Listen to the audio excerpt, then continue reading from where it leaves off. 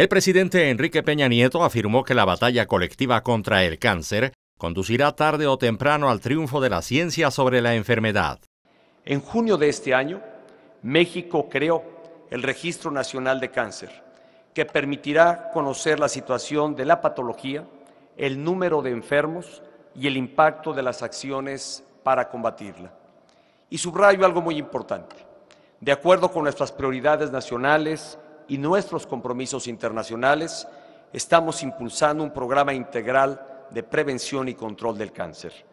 Se trata de un modelo de atención que permitirá unificar los criterios, formas de manejo y presupuestos.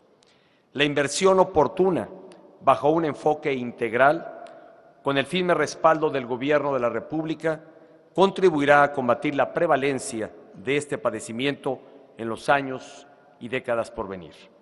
Al asistir a la Cumbre Mundial de Líderes contra el Cáncer que este año tiene como sede la Ciudad de México, el jefe del Ejecutivo hizo referencia a las afectaciones de esa enfermedad en México.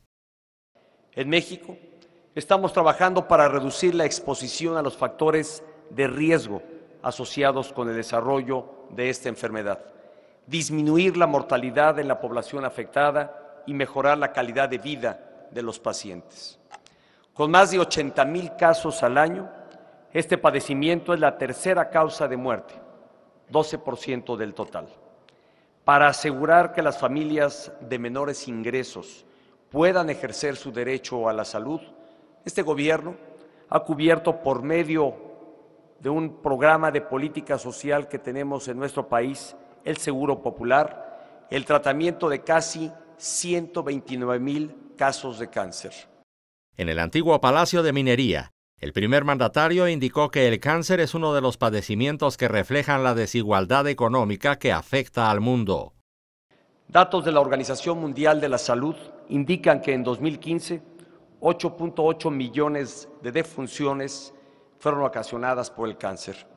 Casi una de cada seis muertes se debe a esta enfermedad. El cáncer no respeta edad o género, cultura o condición social. Sin embargo, los datos internacionales dejan claro que, que cerca de 70% de las muertes se producen en los países de ingresos medios y bajos, donde pocos pacientes tienen acceso a algún, a algún, tratamiento.